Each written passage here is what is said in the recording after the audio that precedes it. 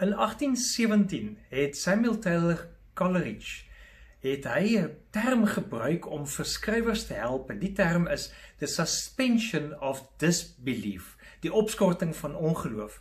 En hy het daarmee bedoel as mense iets of die skrywers dan nou iets van die waarheid net op so 'n manier skryf dat mense dit so bietjie kan vashou, dan raak hulle deel van die storie.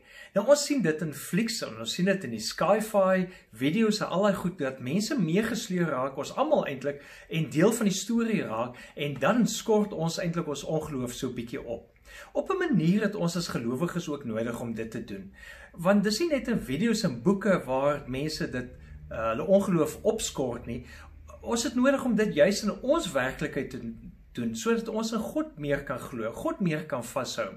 Wat is 'n term byvoorbeeld soos May the Force be with you van Star Wars, soveel inslag in die wêreld in populêre taal gevind het net deur 'n video en 'n fliek. Hoeveel te meer kan die woord van God nie inslag vind deur ons nie? Want God gebruik ons om hierdie wêreld 'n beter plek te maak, om sy storie van hoop vir almal uit te gee en te deel.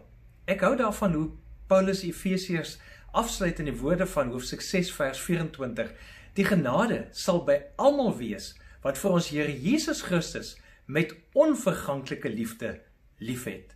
Mag die vors van die heelal met jou wees.